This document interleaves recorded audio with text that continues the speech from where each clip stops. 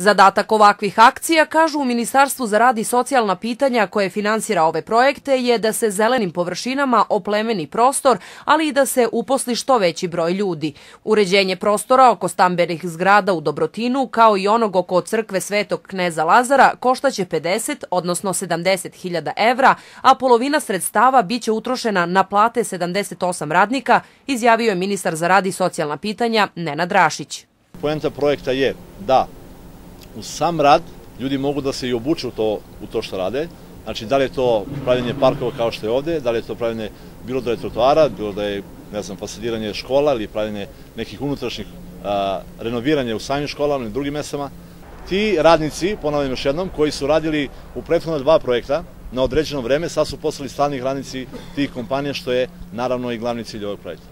Rašić je kazao da je u okviru 38 projekata njegovog ministarstva za održivo zapošljavanje, koje se implementira u 32 opštine na Kosovu, ove godine utrošeno oko 3,3 miliona, a zaposleno oko 2000 ljudi.